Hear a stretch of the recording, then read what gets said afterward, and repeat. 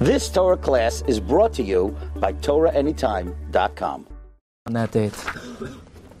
Ask Chassam Sofer, wait a second. Why in the times of the second Beis HaMikdash were, were, were there no confusion? They knew exactly what day the walls were breached. Why was there only confusion in the times of Bayis Rishon and there's no confusion in the times of Bayis Sheni? Says Chassam Sofer, very simple. Who ordained Shiva Asar Tammuz in the times of the second Beis HaMikdash? Rabbi Yochanan ben Zakkai, the Gadol Adar. Where was Rabbi Yochanan ben Zakkai? He fled to save his own skin. So if the Gadol Hadar fled to save his own skin, the Gadol Hadar is not Bitsar. The Gadol Hadar is not Bitsar, there's no confusion, and they knew exactly what date it happened. Says Chassam Soifer in the times of the first Beis HaMikdash, who was the leader? Yirmiyah Hanavi. Where was Yirmiyah with the people? He was incarcerated in jail. Yirmiyah didn't know what date it was. He was Bitsar. He was in turmoil. So this age-old machloikes between the communities of Prague and the communities of Frankfurt actually dates back to Churban Bayis Rishon and Churban Bayis Sheni. Perhaps on a different occasion, I'm going to speak about it later today. Chassam Sofer traces it back to a machloikes midrashim. Be it as it may, Chassam Sofer writes, Lahachriya ineni kedai. I am not capable of paskening definitively. What is the correct thing for the Rav to do under those circumstances? But as we mentioned, Rav David Kahana Shapiro, Rav Shimshon Stockhammer, and Rav Menachem Zemba, they paskened that they're going to go down with the people. And Rabbi Zon mentioned to me that it's almost impossible to understand. Why would they stay with the people? What could they offer the people? The Warsaw Ghetto was about to be bombed, destroyed. You know what the Germans did? They came, they set on fire all the gas heaters, they sent on fire all the gas lines, they poured gasoline on every home, and they bombed the homes one by one by one. And they razed the Warsaw Ghetto. Of what benefit would it be to the people to have these three Gedolim in their midst? Now I'm going to speak out now. This is the first time I'm talking about it.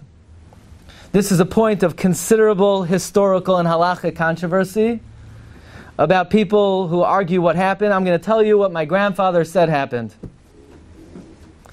My grandfather told me that Ramanachem Zemba paskind repeatedly and emphatically to give sanction to the Warsaw Ghetto Uprising. Ramanachem Zemba paskin that the Warsaw Ghetto Uprising was an act of Kiddush Hashem. We have a record that Rav Menachem Zemba said, "Umitamzeh ani royesh shelafi hahalacha mitzvah hamered b'meitav tachsisei hamilchama." That it's a mitzvah for Jews to arm themselves and fight back. Kiddush Hashem yeshkan milchemes mitzvahi. My grandfather was a Ben Bayis by Rabbi Menachem Zemba, and he was appointed to be a lookout during the Warsaw Ghetto Uprising. He had very good vision. He never wore glasses.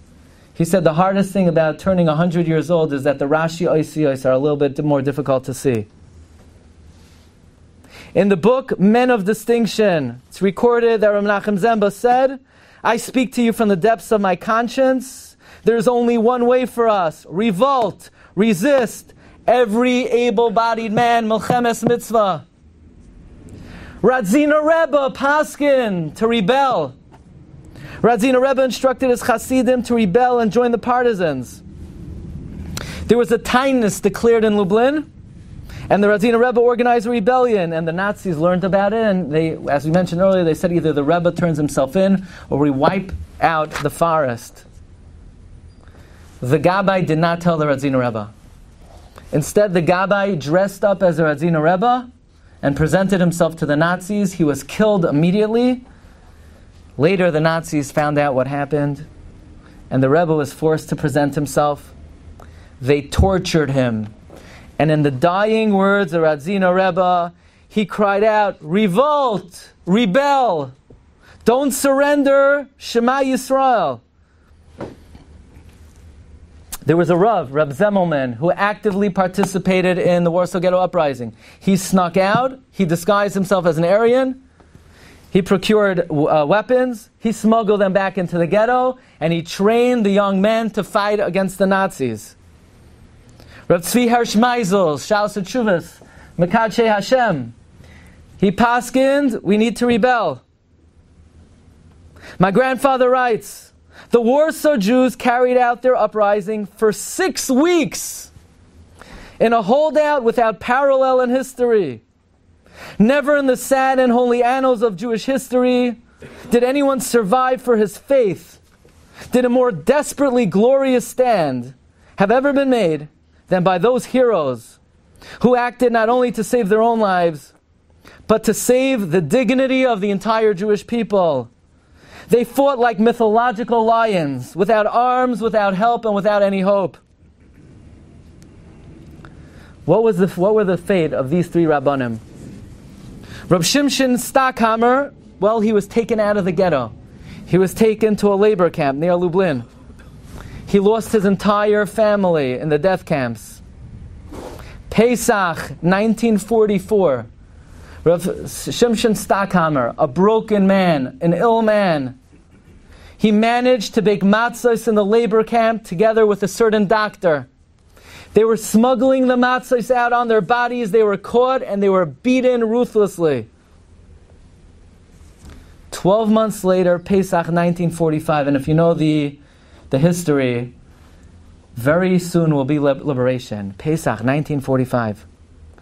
Rav Stockhammer was taken to another camp in southern Germany near Italy.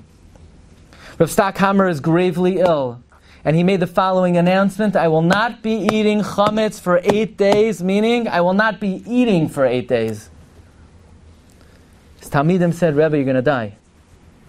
You're not going to eat for eight days? That's not the halacha. The halacha is v'chai bohem. Rav Stockhammer said, I know the halacha, but there are 2,500 Jews in this camp. One yid needs to stand up and show the world that there's a Torah and that's me. And I've been mekabelit biyahava uvesimcha. For eight days, Rav Shimshon Stockhammer, one of the three Dayanim who convened on that Bezdin, two years later, survived miraculously. He did not eat for eight days. The war is about to be over. The Nazis rounded the entire camp up, headed west. Rav Stockhammer was on the train. The Americans were coming. His train was bombed. And Rav Shimshon Stockhammer was critically wounded. And he died on the 13th day of Iyar, three days before liberation. So, what exactly were Rav Menachem Zemba and Rav Stockhammer and Rav David Kahana Shapiro? Why did they paskin that they should stay? What were they adding? What were they offering? What was their contribution? And Rabbi Zon told me that he heard a story that my grandfather wrote, and then he finally understood the psak, the historic psak of these three great Go'inim. Let me read to you. We were hauled to the forced labor camp in Bedzin. We labored there under the most brutal conditions. In the early morning darkness, in the freezing temperatures of the bitter winter. We performed back-breaking labor under constant whippings. What provided us, uh, provided us the secret, mysterious strength and endurance to continue breathing? My grandfather writes, Lule soyrascha sha'ashuai ba'anyi. If not for the torch of Torah that aided me, I would have succumbed to my sufferings. We stood on those abysmal nights together with the great Rabbanim of Warsaw, Rav David Kahana Shapiro, Rav Shimshon Stockhammer, and other Goinim who were able to say over the Gemara, Balpeh, B'machashakim, Hoishivani, Zet, Talmud Bavli. It was the Shaklavataria of the Gemara that these precious Jews remembered by heart. That was the eternal light to illuminate our hopeless, downtrodden hearts. And that's what gave us the ability to have a vision for a brighter future.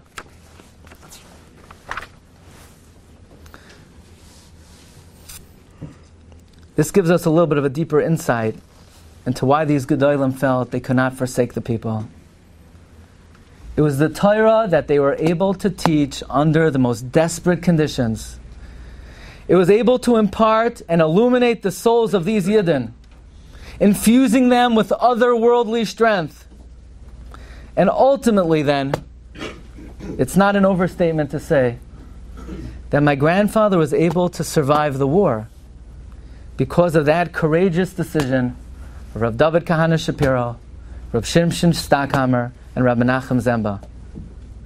And if that's the case, I think it's pretty accurate to say that if it was their encouragement that allowed him to survive, then if not for that decision of Das Torah 74 years ago, I too would not be here today.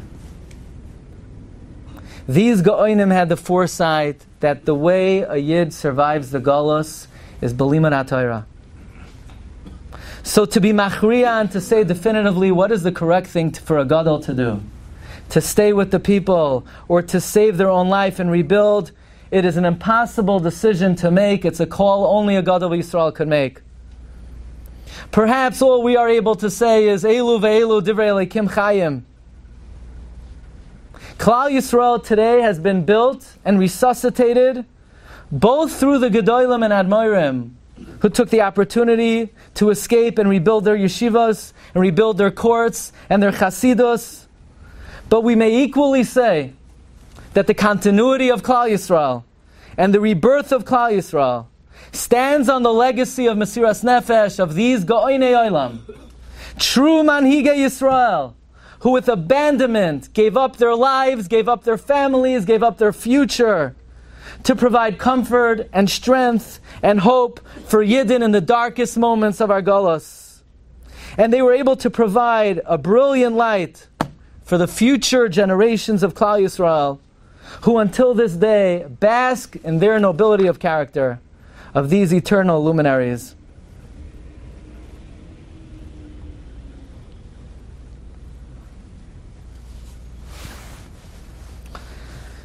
So after about 70 years, my brother Ari found a document. He found a manuscript that my grandfather wrote in the 50s that he submitted to Yad Vashem about the death march that he was on from Hessental in April 1945. While 99% of the Jews had already been liberated, my grandfather was one of the last camps, I believe the very last camp to be liberated. It's called the March from Hessental. And he describes how there are 700 prisoners, the last 700 Yidden in the Holocaust. And they're marching. 200 were deathly ill. Deathly ill means goisesim, ridden with typhus. And we were deadly tired, wild from hunger, chased over icy mounds. If you didn't move fast, the bullet freed you from the march. And my grandfather writes, you could hear voices crying, bidding farewell. I cannot go on. Here's where I shall fall.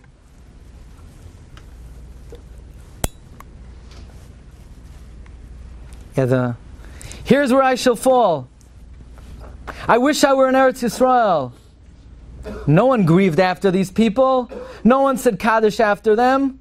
All we knew is the dark, the night was still very dark and very long, and the bullets were still in abundance. Do you remember the prophecy of the Navi Yecheskel? The Navi Yecheskel is walking in the valley of the dry bones, walking in the dry bones, and he sees thousands of dry bones. And what does the Navi Yecheskel say?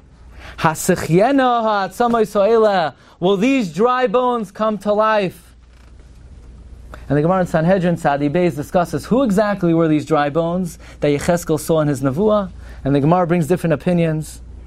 My grandfather writes that on this fateful death march, he has a vision of Yecheskel Hanavi witnessing the dry bones. And Yecheskel Hanavi is saying,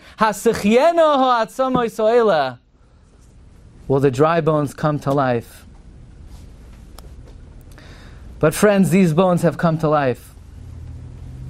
Those Yidden, 1945, who are living corpses, who are dry bones, Klal Yisrael has had a Tchias HaMesim. The Rebbeinu Shalom has showered us with the Talat Chia, with the dew of resurrection. And there's been a renaissance and revival of Jewish life all over the world. But Marv Rabbi we still hope for the ultimate Chias HaMesim, should be Zoicha, Baharamas Karen HaTorah, Baharamas Karen Yisrael, V'yaskal Tzedek, Amen.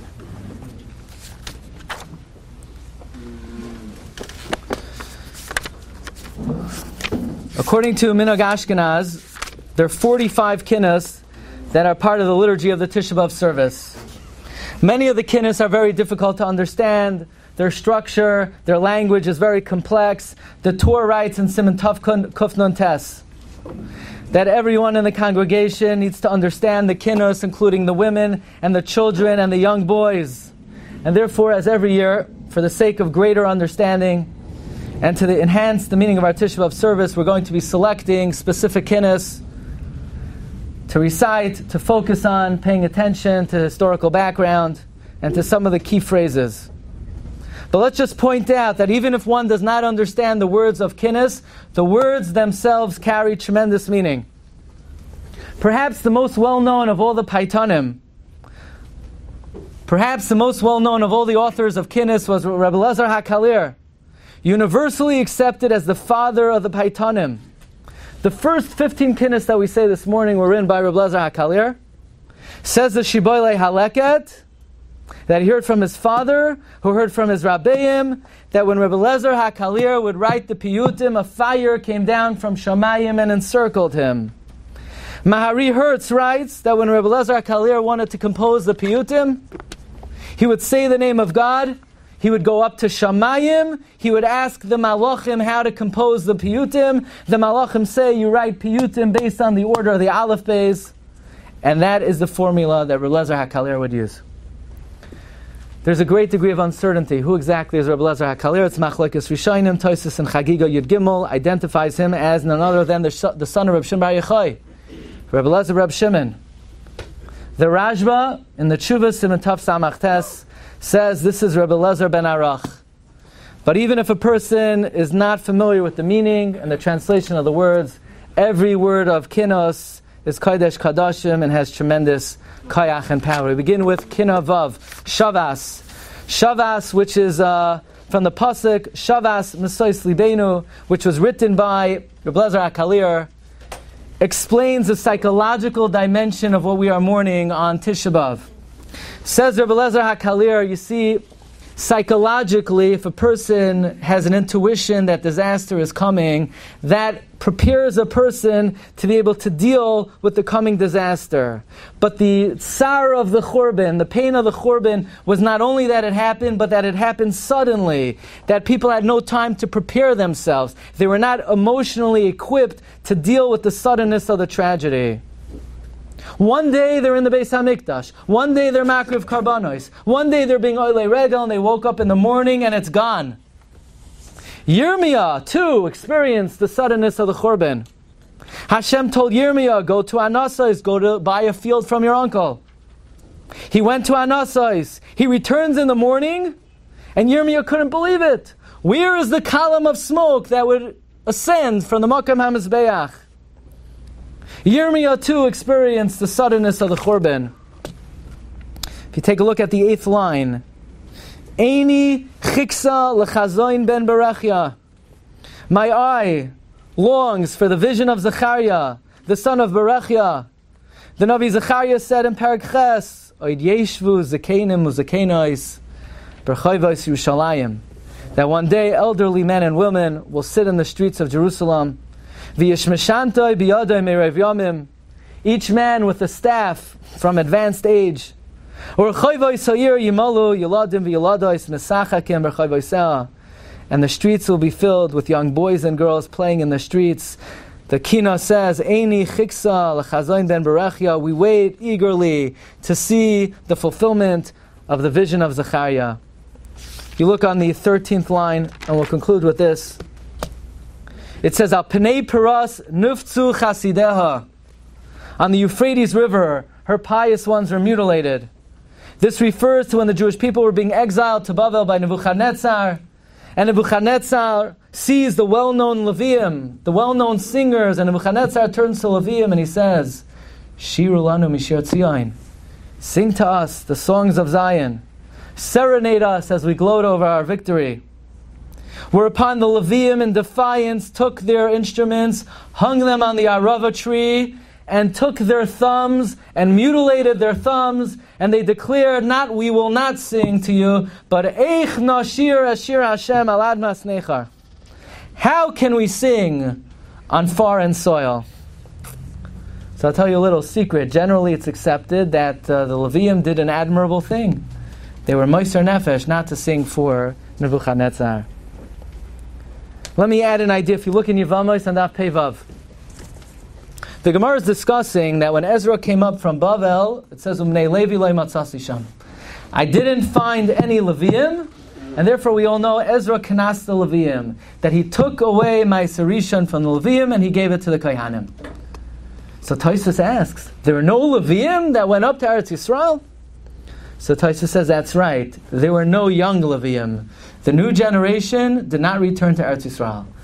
There were only Levium 83 years and up, who were 13 years old at the time of the Churban, spent 70 years in Bavel, and they were the only Levium to return, but they didn't have any thumbs, because they all bit off their thumbs. So there was no one to play music in the Beis HaMikdash, and because of that, the Levium were penalized. Ask Reb Chaim Zaychik. That's how we reward the Levium. They bite off their thumbs in an act of self-sacrifice not to play music for Nebuchadnezzar, and they're rewarded by having my Sarishan taken away from them. They should have been rewarded, not punished. Says Reb Chaim Zaychik, the Levium were wrong. They should not have bit off their thumbs. Why not? Because biting off their thumbs indicated that they were going into Golos and they would never see a Beis HaMikdash again and they would never play music again. And as remote of the possibility was, a Yid is never allowed to give hope, give up hope. They should have had Emunah that somehow, some way, they would make a return and play music again. And because they didn't have faith, they were penalized that they would never get again Maisa Rishain because a Yid never gives up hope. Kinavav Shavas Rumenu Shemuni Evrai. Kino Yud Aleph. Kino Yud Aleph. Vayikoinin Yirmiyahu Al Yoshiyahu. This is the single most important kina that we say on Tisha B'Av. And the reason is the recitation of this kina was ordained by the Navi Yirmiyah himself. The pasuk in Divrei Yom Beis, Parak says, "Vayikoinin Yirmiyahu al Yoshiyahu." And Yirmiyah lamented Yoshiyahu, Vayoimru kol hasharim v'hasharois, b'kinoisam al Yoshiyahu adayom. That all the male singers, all the female singers mentioned Yoshiyahu in their lament until this day, Vayitneim l'choik al Yisrael, and they made a law, they made a halacha. That whenever the Jewish people mourn, they must mention the death of Yoshiyahu HaMelech. The reason why the death of Yoshiyahu HaMelech was the most tragic death in the history of the Jewish people is because never had an individual brought about such a national-wide tshuva movement as Yoshiyahu did. The Navi says, "V'chamayu lo'ilafan of Melech." Asher shaval Hashem b'chol avavoi u'v'chol nafshoi u'v'chol ma'oidoi k'chol Torah Moshe. We talk about tshuva movements. The first and greatest tshuva movement was created by Yoshiyahu HaMelech. The pasuk says, if you look on the sixth line in the Kinnah, Gam b'chol Malchei Yisrael Asher Kamu Ligdar. Even among all the Jewish kings that stood up to create fences around the Torah, like Kam Kamayu, Mimaisa Avigdar. Nobody stood up like Yoshiyahu, like Avigdar. Who's Avigdar? Moshe Rabbeinu. He was Avi Kol HaGoydrim Shabbatayra. Yoshiyahu's grandfather was Menashe, who committed the early reign, his early reign, to strip the Jewish people of every vestige of belief in Hashem. He planted idols in every corner of Eretz Yisrael, including the Kodesh HaKadoshim. At the end of Menashe's life, he did tshuva, but it was too late. Idolatry was so deeply rooted in the Jewish people, it was impossible to uproot.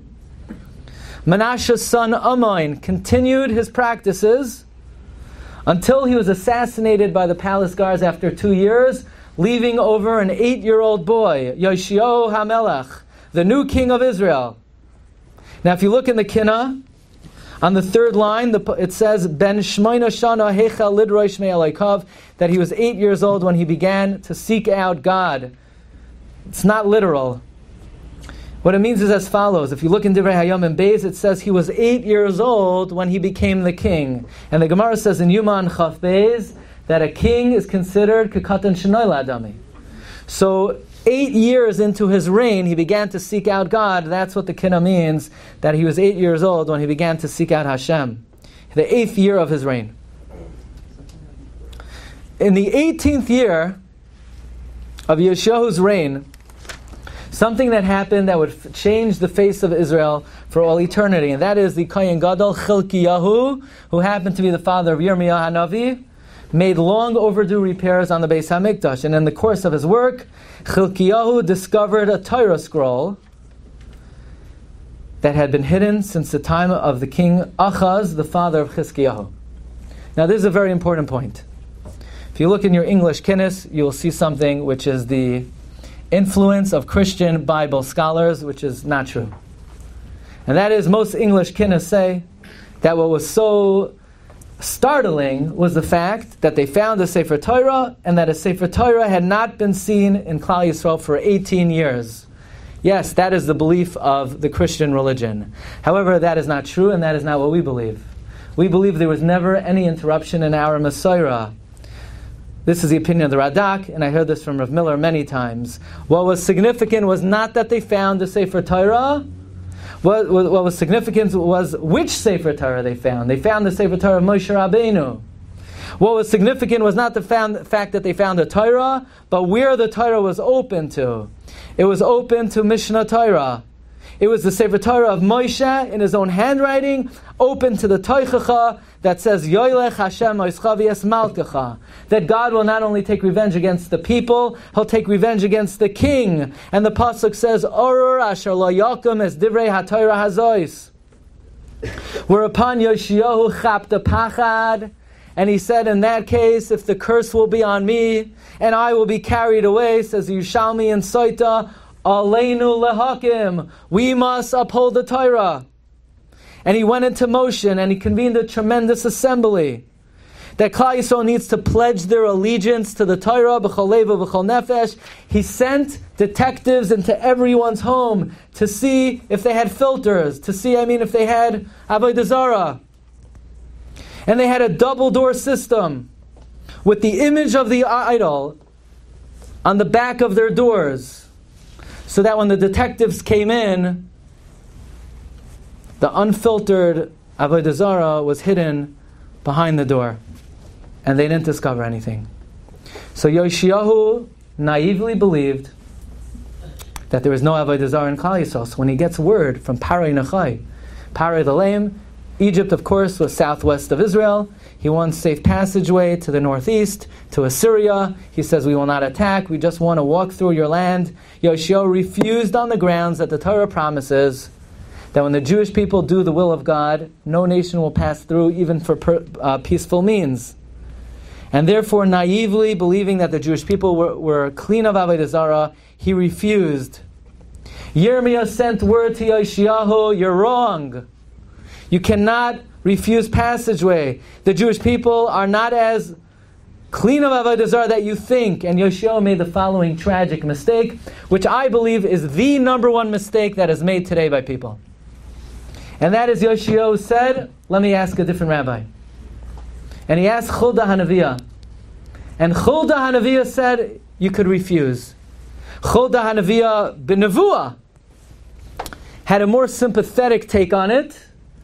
And Yoshiyahu made the mistake of not listening to the more in touch, the more connected God of Israel, which is the major mistake of our generation. People say, Yeah, I asked the Rav, I asked the rabbi. Who did you ask? Not all Rabbanim are equal. You could only follow the psak of somebody who's a Paisek Adar or who goes to a Paisek Adar. You can't just ask anybody. If that rabbi is making a mistake, the Pischei Tshuva writes, you're amazed. You can't just ask somebody. And that was the mistake of Yeshua Melech. He asked Chulda Hanaviyah. But he didn't ask Yirmiyahu. Yoshiyahu denied Paro passageway. Paro went to war against Yoshiyahu. And the Kino describes how the Egyptian archers made him samua kamatar lechitzim. They made him like target practice. They shot him with 300 arrows, and the blood came out of his body, pulled out of his body. I'll leave you with a question, but uh, too much pilpul we can't do. I'll leave you with a question to think about. So Yirmiyahu comes to bury the dam. How could he bury the dam? Dam is tameh. Yirmiyahu is a kayin. He's not a mace mitzvah. There are many other soldiers around. Anyway, Yoshiyahu's tragic, untimely death was the beginning of the end of Klal Yisrael, and it is this kinnis which is considered the central kinnis of the Tisha B'av service. Kina Tazayin. Zachar Asher Asa Tsar Bifnim. The Kina describes the unspeakable acts that the wicked Titus perpetrated when he entered the Kodesh HaKadoshim. Of course, uh, Titus was the Roman emperor who destroyed the second Beis Hamikdash. Actually, the siege began was began by Vespasian, Aspasianus Caesar, but when he was appointed the emperor of Rome, so he appointed his son Titus to continue the siege. Says Gemara in Gittin and Vavam and Beis that Titus began his siege not only with a statement, an arrogant declaration against the Jewish people, but his declaration was hurled against God himself. Says the Gemara, he declared, Where is God? And in unparalleled defiance, he came into the Makam HaMizbeach, and he pounded, he kicked the Mizbeach, and he said, Lucas, Lucas, Wolf, Wolf, I'm a king, you're a king. Let's take this one outside. The Gemara relates that Titus grabbed the Zoina, took her into the Kodesh HaKadoshim, spread out a Sefer Torah, and in the Kodesh HaKadoshim, on a Sefer Torah, he committed the unspeakable Avera. He then slashes the paroiches. God made a miracle. The blood flows out of the paroiches. Titus thought he actually had slain God. He makes the paroiches a bundle and carries out all the kalim of the Beis Hamikdash. By the account of Josephus, 97,000 Jews were taken captive, and the death toll was 1.1 million. The Romans minted a special coin On one side of the coin is garlanded with a victory wreath, a picture of Vespasian, and on the reverse side, there's a forlorn Jew who weeps under a palm tree. The inscription reads, Judea capta. Don't pay attention to what it says on the bottom of the kinnis, that's not what it means. Judea capta does not mean Judah's captive. It means capta in Latin, caput. They're done, they're finished. I want to point out two important hashkafas that we see from this kinnis.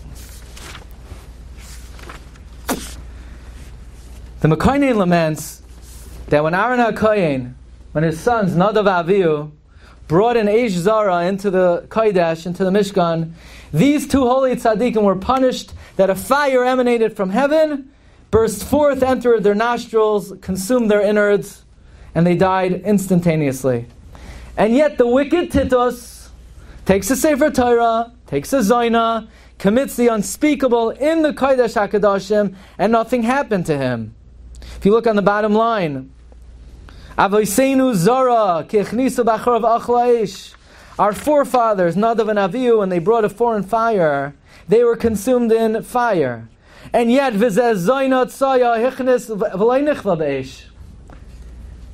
and Titus commits the unspeakable, and nothing happened. How do we understand that? How do we explain that? It says Nefesh HaChaim, very simple. Goyim can't do anything. The acts of a Gentile have no ramifications in the world. It is worse for a Jew to entertain an immodest thought than for Titus to take a Zaina into the Kodesh HaKadoshim and be Mezana on the Sefer Torah. Because Titus is just a puppet. Titus is a Basar Adam. What could he do to defile Kedusha? But a Yid is programmed into all the Ilamais. A Yid is programmed into every detail of creation. An improper thought of a Yid has more contamination to the world than the worst un- unspeakable acts of Tita Sarasha. This is the point that the Kina is emphasizing. As for Isaac Sher, Why would God make a miracle that when Titus pierces the Paroiches, blood would come out? What's Hashem trying to accomplish? He wants Titus to think that Titus killed the Rebbeinu Kaviyachal. Why would Hashem do that? Hashem doesn't make a miracle for nothing. What lesson was Rebbeinu Shalom teaching us? Says Rav Isaac Sher, the blood that came out of the Paroiches is the central lesson of Churban Beis HaMikdash. Don't think that life today as a Jew is pretty good. That we wake up in the morning and we put on talis and tefillin and we learn every morning and every night, and Judaism is thriving and flourishing. Don't make that mistake. Says Rav Isaac Sher, we are dead. A Jew today is dead. We have no spiritual life. God created the blood to flow out of the Paraychas to indicate that upon the destruction of the Beis HaMikdash, the Jewish people have suffered cardiac arrest. Our lifeblood has flown out. We say, Rachem al Tzion, kihi beis chayenu. Our life house is Tzion, and if we don't have Tzion, we have no physical life, we have no spiritual life. The Gra writes that the majority of the Torah was lost with the Churban Beis HaMikdash. Our connection to Hashem has been severed. The lesson of the blood indicates that upon the destruction of the Beis Hamikdash, the Jewish people has suffered cardiac arrest.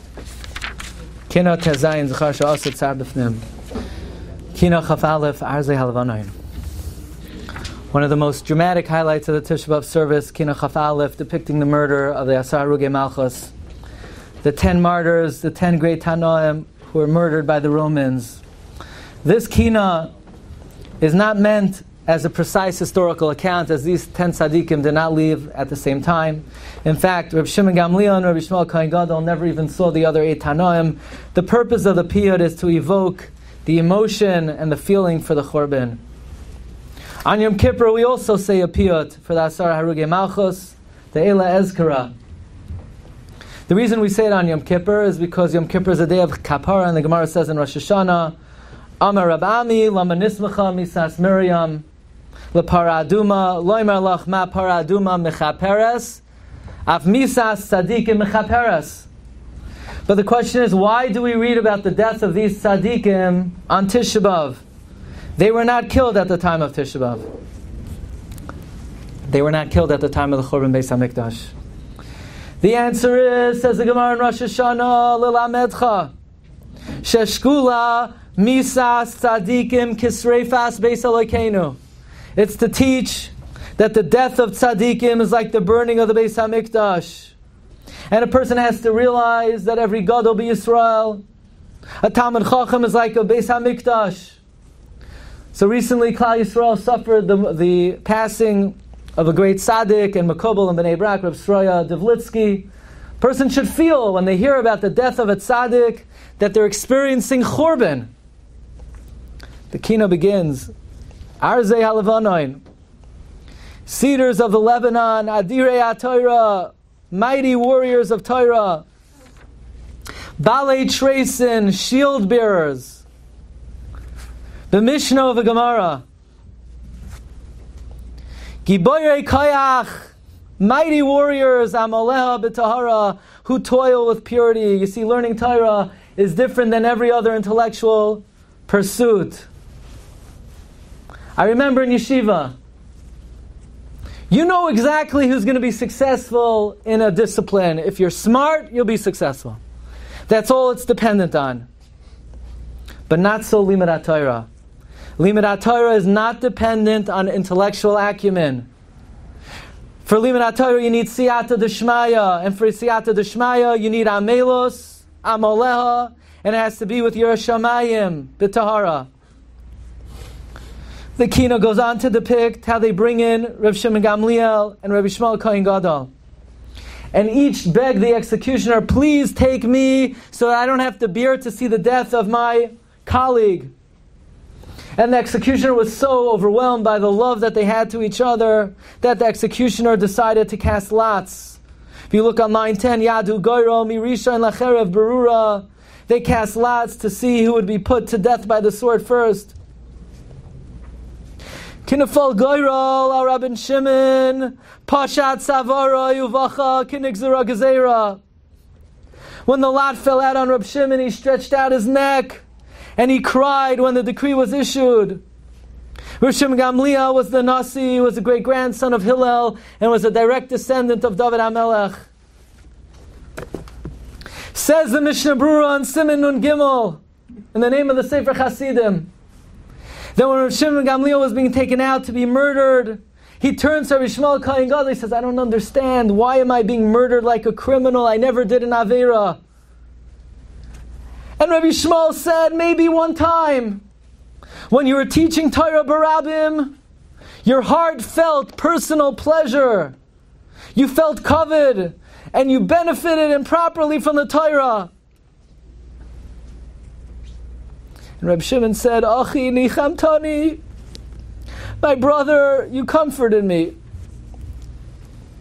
On the bottom line, Zera Aaron, from the descendants of Aaron, Shaal b'vakasha, Livkois, al ben Hagavira.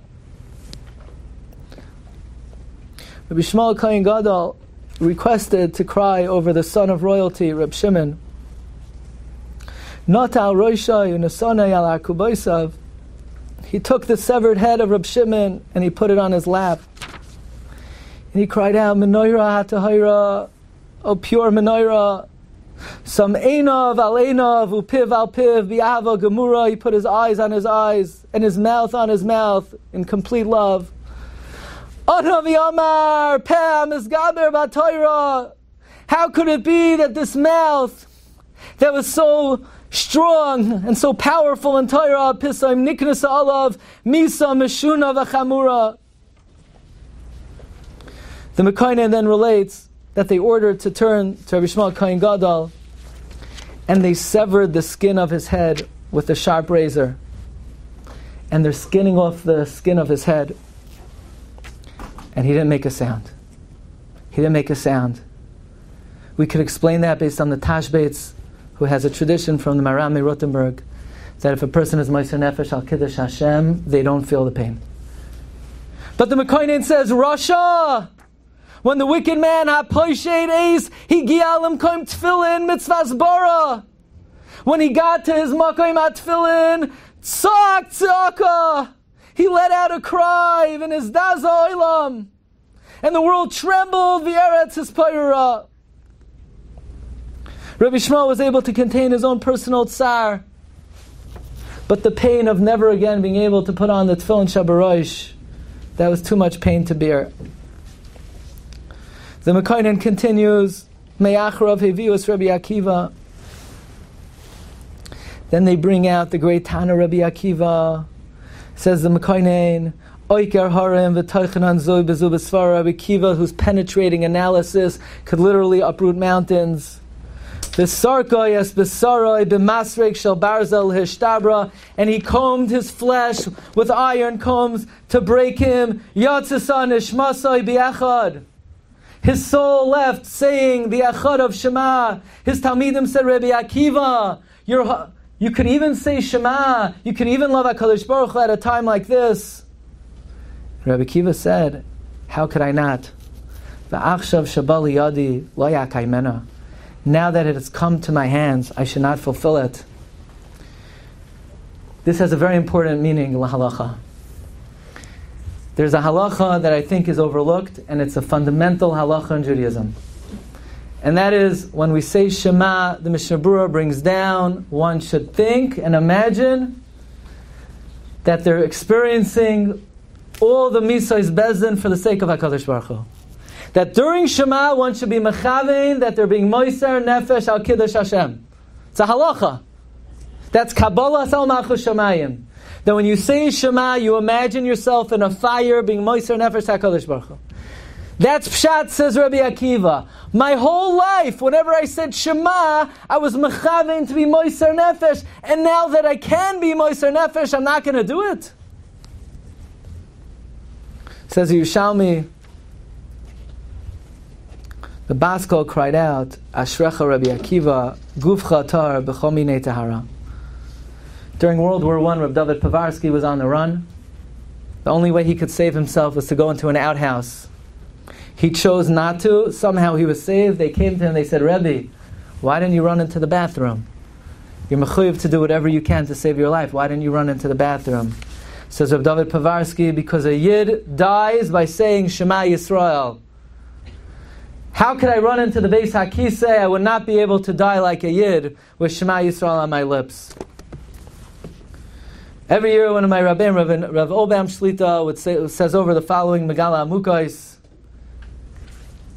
Megala Amukais says like this Why did Rabbi Akiva suffer the worst fate of all the Asar Haruge Malchus? Rabbeinu Bechai brings down in Parshas Vayigash, and we mention it on Yom Kippur, that the Asar Haruge Malchus were a tikkun, were a kapara, and a gilgul. They were gilgulim of the ten shvatim that sold Yosef. Which one of the Shvatim was most responsible for selling Yosef? Shimon. Rabbi Akiva was the Gilgul of Shimon. Therefore, Rabbi Akiva suffered the worst fate of all these ten tzaddikim.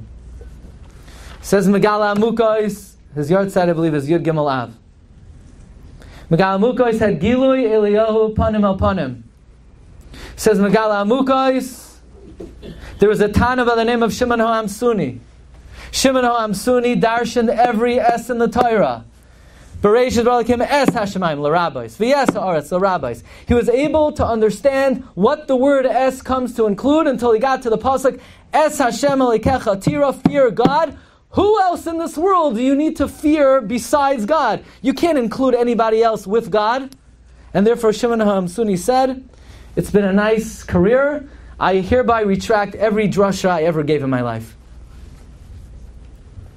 pretty courageous. Imagine all those shiurim said they're all wrong. Ad Shabbat Rabbi Akiva, until Rabbi Akiva got up, Es l'rabois talmidei chachamim. That the same way you need to fear God, you need to fear talmidei chachamim. Rabbi Kiva was darshan Es. When Yosef had Shimon in prison, if he would have killed him, there never would have been a Rabbi Kiva. The fact that he let him out of jail meant Shimon still needs to be punished, so there'll be a Rabbi Kiva.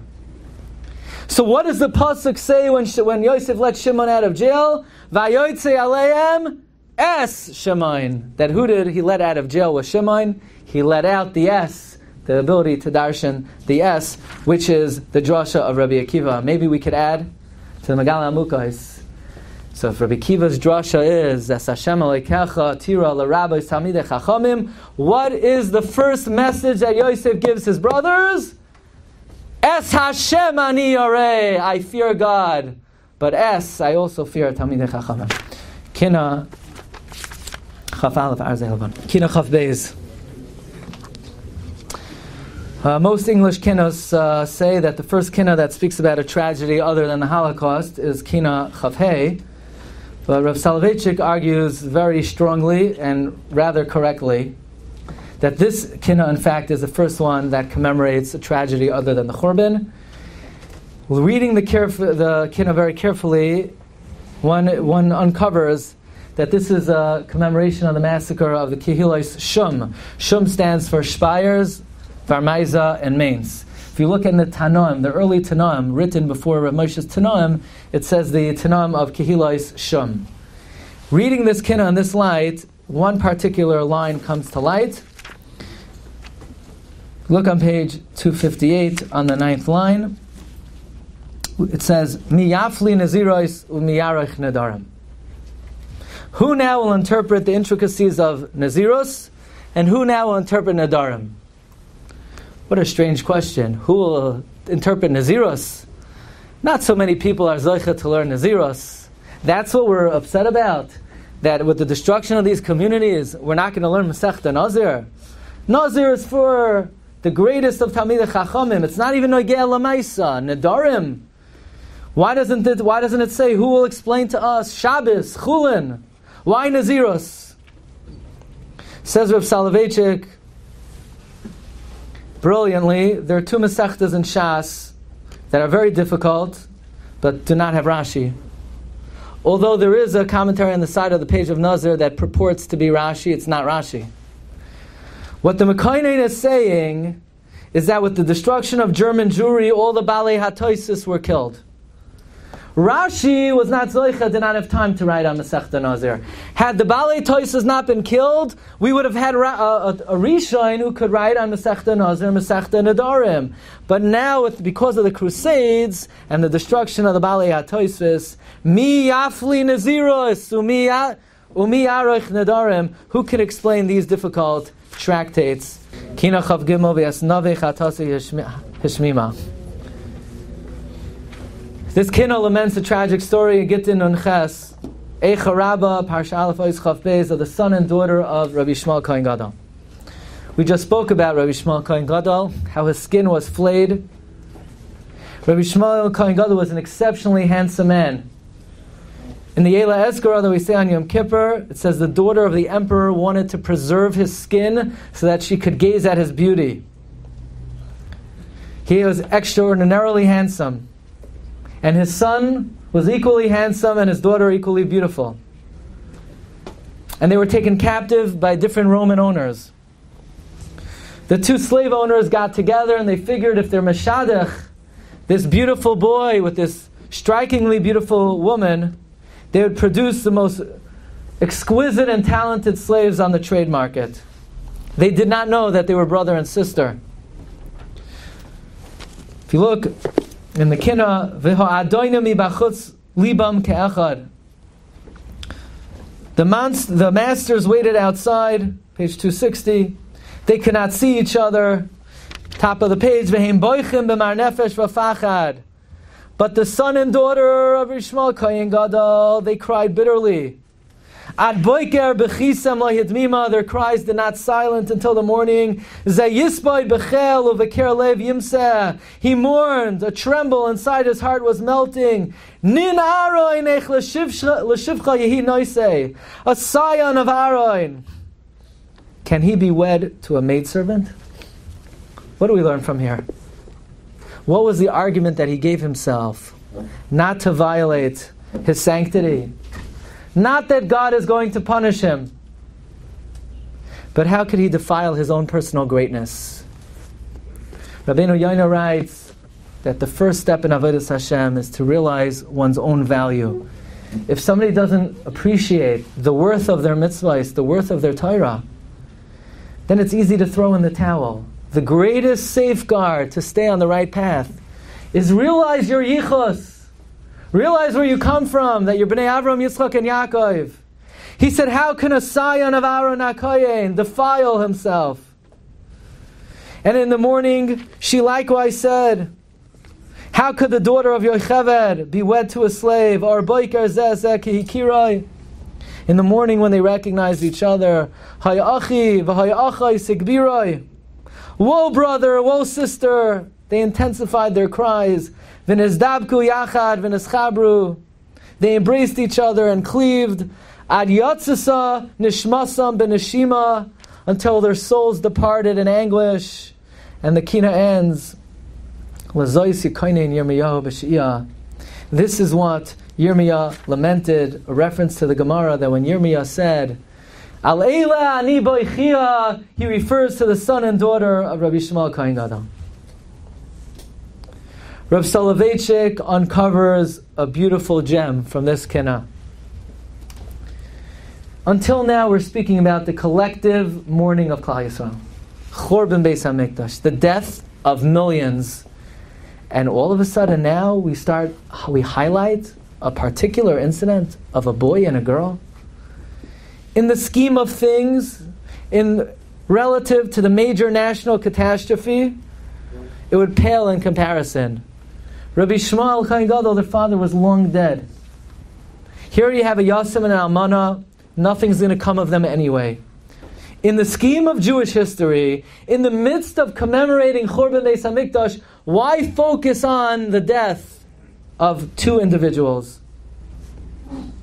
Says Rav Soloveitchik, we learn from here that Judaism has a different approach to the individual. We mourn every individual, even if they're not a leader, even if they're not a tzaddik, even if they didn't play a major role. You know, in light of major catastrophe, who is responsible to remember the nameless, faceless tragedies of Jewish history. Who is responsible to remember them? We are. We have to remember every individual. It's not enough to remember the major disasters, Churban Beis Hamikdash. We have to commemorate the death of every Yachid as if it was all of Klal Yisrael. Their death may not have changed the face of Jewish history, but we never forget the faceless, nameless individual in the midst of national disaster. This is the important lesson of this kina. Nothing is overshadowed. Says Rav Soloveitchik, there's an additional pedagogical lesson and psychological reason that we bring in this particular kina. And that is people do not have an emotional response to major catastrophe. You tell somebody six million Jews died in the Holocaust, and they can listen to it stone hearted. And there's nothing wrong with that. That's human nature. Says Rav Soloveitchik, a tragedy of great proportion is very difficult to comprehend. The Medrash says in Parshas Noach, Rabbi Akiva was collecting money for Aniyim. He went to the city of Ginzik, so he wanted to make a good pitch. So he says, Rabbi if you don't give tzedakah, you know the Mabul wiped out mankind. Yeah.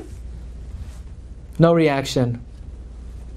Then Rabbi Akiva told the tragic story of Eiv, and the people broke down crying.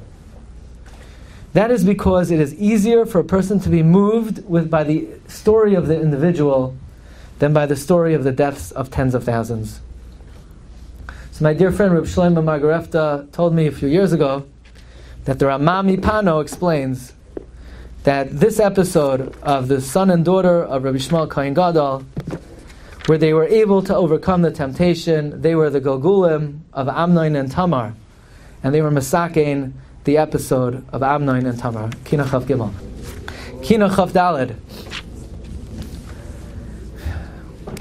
Try to bring out from Kina Chav a very fundamental concept because this is the first time we don't discuss just the Beis Hamikdash itself, but we're focusing on the desecration of the kalim of the Beis Hamikdash, and I think it's important for us to be in touch with what do the kalim of the Beis Hamikdash mean to us.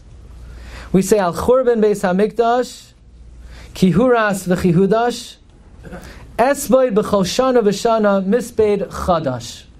That every year we're going to give a new morning. What does that mean? We're going to give a new mourning. You know, there's considerable discussion in halacha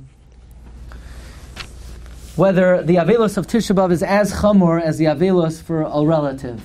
Because after all, you can make the argument the avelos of a relative is what is called avelos chadasha. It's new news. It's something fresh. The wounds are open. As opposed to Churban Beis Hamikdash, it's an alta story. It's an old story. Maybe it's more lenient. That's a, a very big discussion in halacha. But what the Kino says is no. Espaid v'choshana v'shana mispeid chadash. You can't say I said this last year. I did this last year. Every year it has to be felt as if this is a new mourning, as if the wounds are still open. Ala Kodesh, says the Kina of the Al HaMikdash.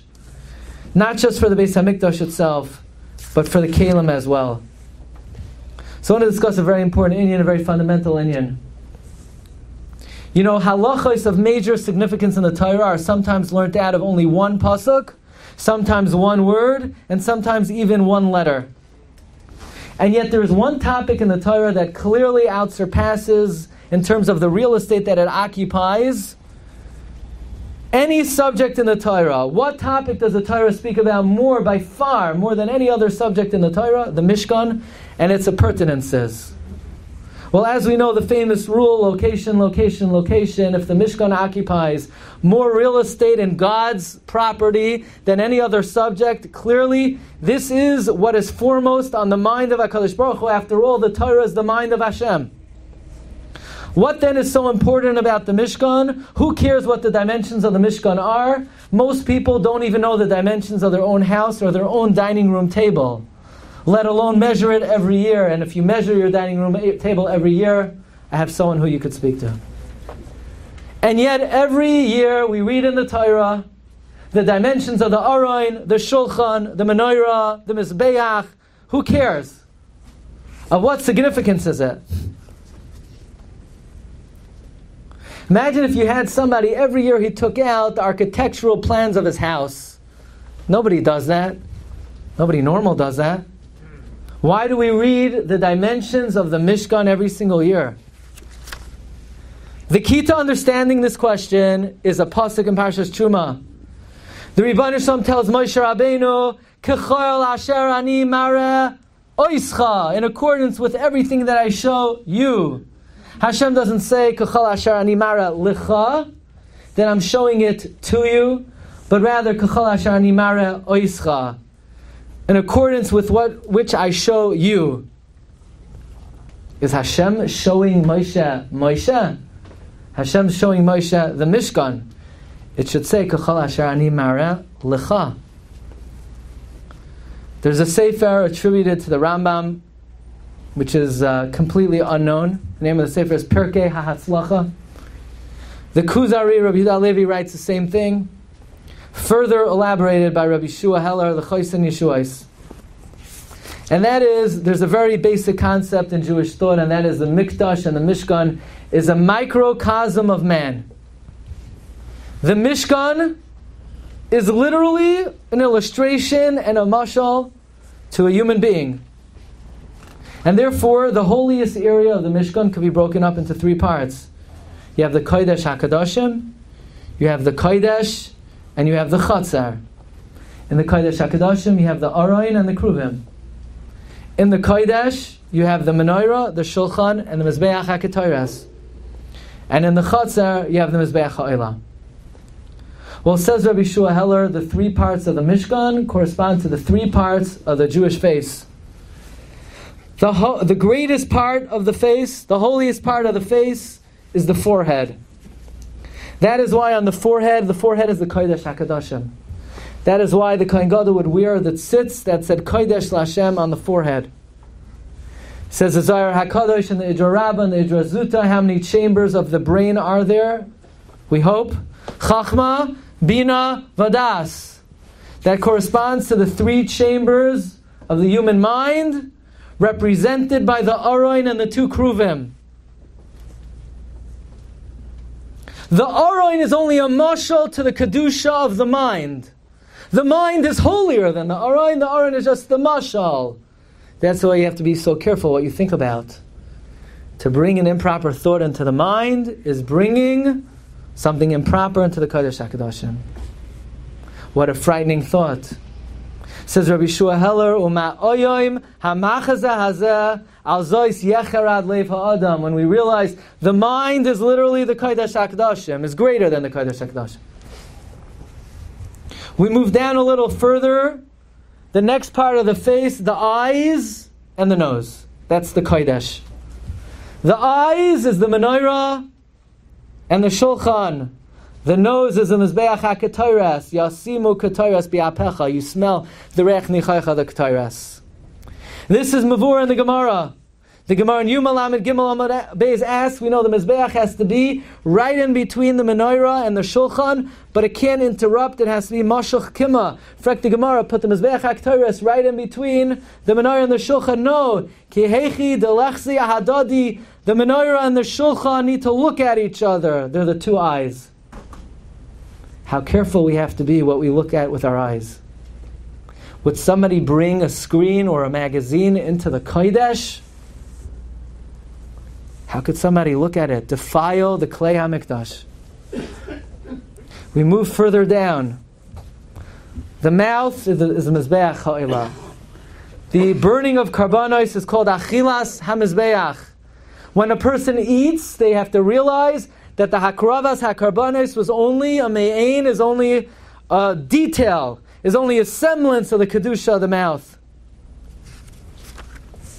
And incredibly, says Rabbi Shua Heller, if you count up all the appurtenances of the Mishkan, 48 krashim, 100 adonim, 10 urios, 100 lulais, 50 krasim, 11 urios izim, 100 lulais, 50 krasim, 15 brichim, 96 tabais, the menorah, the kruvim, the shulchan, the oilim, zech aktaris, the kiyar, the five vavim, the five adonim, the five amudim, and the mesach, 613.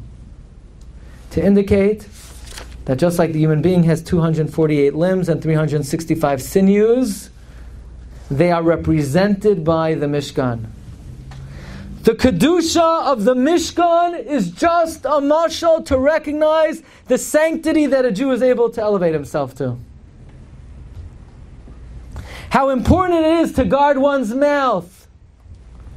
Would somebody bring a davar tameh on the Mizbeach? Would somebody say, well, I'll bring something on the menorah. It's only a commercial. Person would have yiras ha'oinesh v'haroimimos with what they would bring next to the menorah. The menorah is nothing compared to the kedusha of the ayin. The Mishkan is not a house. The Mishkan is an insight into the kedusha of an Adam.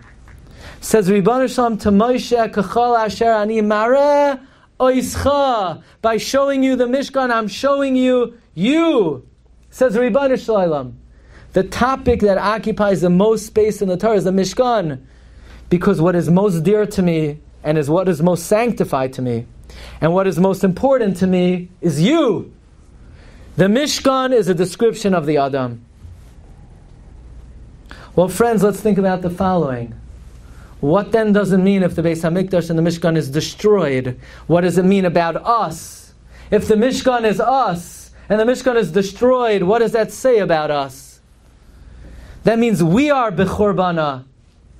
That means the Neshama is Bechorbana. That we have been destroyed. And in that case, if we see as the years go by, how the society at large is plummeting lower and lower in darkness and immorality. That means our own personal churban needs to intensify and get stronger every year. And that is why it is this kina that mourns the mikdash and the mishkan, meaning that mourns us, brings out this idea that aspid b'chol shana v'shana misped chadash, that every year we're able to feel new feelings of mourning. Kina chavdal. Kina Lamed Vav Tzion Halois Shali. The Kina begins the last group of Kinnis for Tisha B'Av. The Kinnis ends with ten piyutim that are known as the Tzion Kinnis, all with the exception of one, begin with the word Tzion. They're all concerned with the fact that Eretz Yisrael is the center of the universe. Kina Lamed Vav was written by Yehuda Halevi, one of the greatest of all the Paitanim. Yehuda Halevi was born in 1080 in Toledo, Spain. The Rashba says in Shuvah Taf Ches that Yehuda Levi was the greatest of all the Paitanim. Aside from studying Talmud, Yehuda Levi became a master of literary style and Hebrew and Arabic grammar. Rabbi Yehuda Levi was literally in love with the land of Israel. Wasn't he the one who cited, invoked the famous words, Libi b'mizrach v'ani b'soif ma'arav. My heart is in the east, while I am stranded in the farthest end of the west. There have been many pilgrims to the land of Israel. Many Gedolim have gone to the land of Israel. But no one ever expressed their love for Eretz Yisrael like Rabbi Huda Halevi. The Rambam, for example, in Moreh Nevuchim, only mentions Eretz Yisrael one time. Chovos HaLevavos does not mention Eretz Yisrael in the entire Sefer. Even the Ramban, who is a great lover of Eretz Yisrael, only speaks about Eretz Yisrael in the halachic sense. Rabbi Huda Levi, however, expressed his love and his passion in a very poetic and literary style. Rabbi Huda Levi says, Miyasali knafayim ve'archik nedoid. Huda Levi says, Who will make me wings so that I might wander far away? Anid levisre levavi, cause my shattered heart to wander bein b'saroyach amidst your ruins.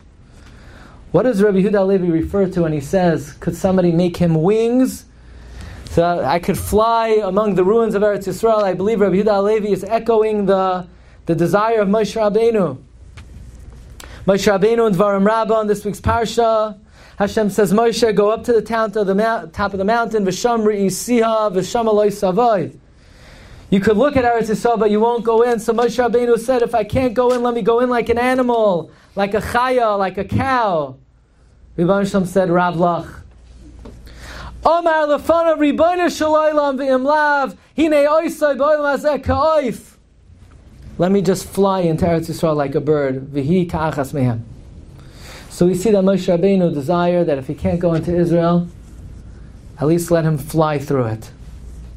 Ask Rav Moshe in the Darash Moshe, the Gemara in Saita Yadalit says, Leinisavim Moshe, Moshe only wanted to go into Eretz Yisrael to Mekayim mitzvahs hatzluyos ba'aretz. As a bird, there are no mitzvahs that Moshe Rabbeinu could do in Eretz Yisrael. Why then, what would the tachlis be of entering Eretz Yisrael as a bird? The answer is, says Rabbi Huda Halevi, Apel la'ape ale artzech.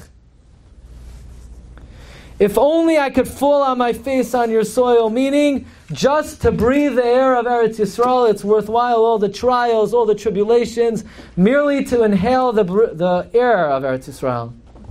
The artza avonech lamoid, I would intensely cherish your stones. And favor your dust. Referring to Rab Abba, Rab Abba's custom was when he would enter Eretz Yisrael, he would kiss the dirt, the stones of Eretz Yisrael. In this week's parasha, Parshas Va'aschana, and Moshe Rabbeinu's mispalel Ebrona, ve'eres ha'aretz ha'toiva. Says the Paneach Raza, one of the masters of the secrets of the Torah, the Yarden is 50 amos wide. When Moshe Rabbeinu is saying, Ebrona, let me go into Eretz Yisrael, just one amma. If I could just put my feet down on one amma of Eretz Yisrael, it's worthwhile. What gives the dirt of Eretz Yisrael their kedusha? An astounding thing. Look on the fourth line. Af ki ba'amdi ale kivrois avoisai. Page three thirty. When I stood on the graves of my forefathers. I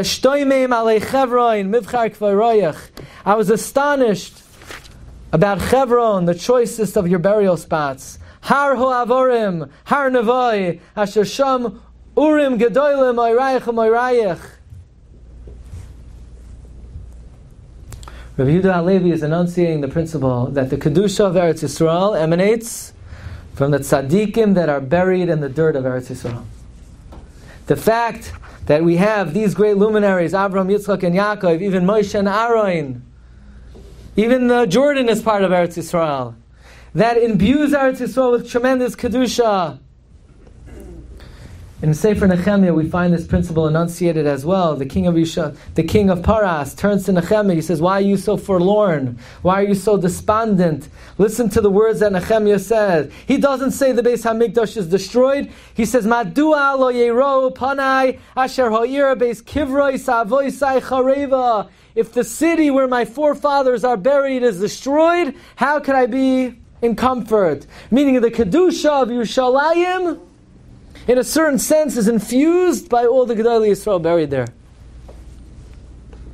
And then Rabbi Huda Halevi pens perhaps his most stirring words.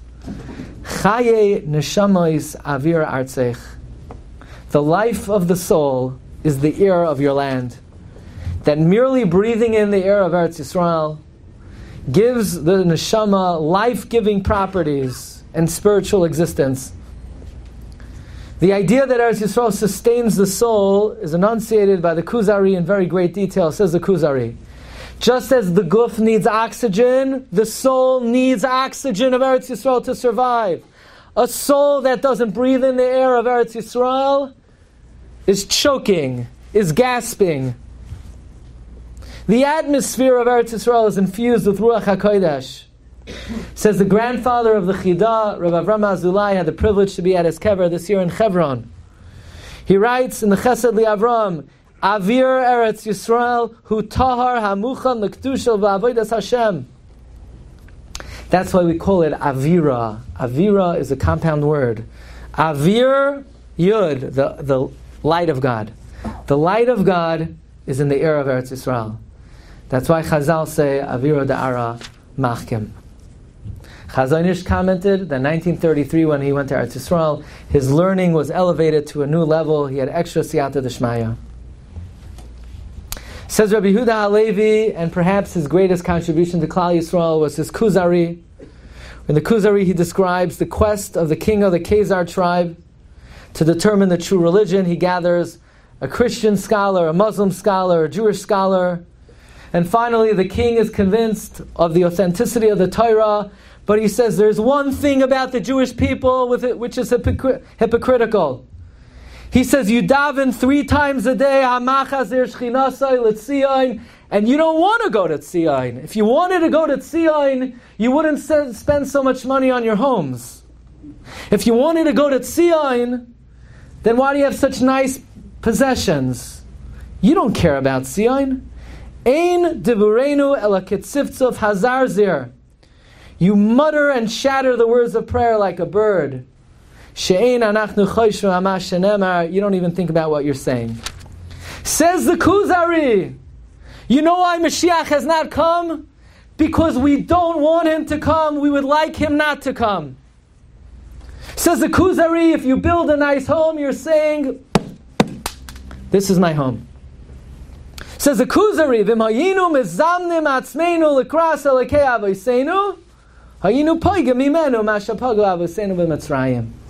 If we would want him to come, then he would come. Why doesn't he come? Because we told him to get lost, and we're not interested in him coming. And the Kuzari took these words to heart. He left the Gullus.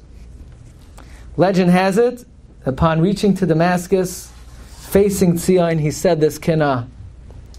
Many historians believe that Rabbi Yehuda Halevi died in Damascus, but there is a tradition quoted in the Shalshals HaKabbalah that Rabbi Yehuda Halevi reached Yerushalayim, he rolled in the dirt, he rolled in the dust in fulfillment of Kiratsu Avadecha Savaneha. He was then trampled and killed by an Arab horseman. Kina Lamed Vav Tzion Halei You've just experienced another Torah class brought to you by TorahAnytime.com.